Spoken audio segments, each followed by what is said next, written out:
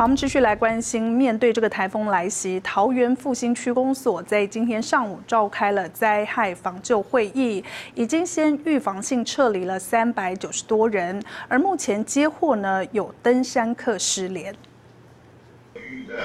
马勒卡莱西，桃园市复兴区十七号上午与桃园市各区进行台风灾害防救会议。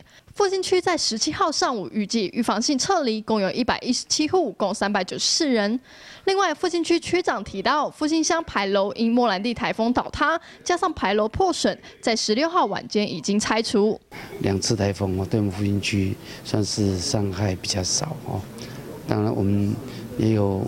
以前所做台积线有两座非常呃牌楼非常危险哈，呃趁着这次台风哦，呃就一并处理拆除掉，呃以维护台积线的安全哈。马勒卡台风发布海陆警报后，民众举报有四名登山客前往复兴区唐穗山登山。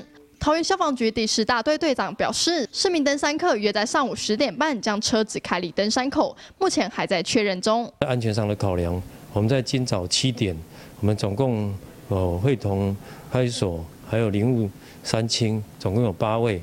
我们啊目前就是入山去做一个搜索。那刚刚大概在啊啊就是十分钟之前有传出啊就是 这四位啊哈就是车子有民众有跟派出所这边还有跟我们做反映说已经有看到这个车车子已经驶离这个现场。复兴区区长呼吁，台风天请旅客不要冒险上山。在这次马勒卡台风期间，复兴区灾害中心也会持续的待命。记者老爸桃园复兴采访报道。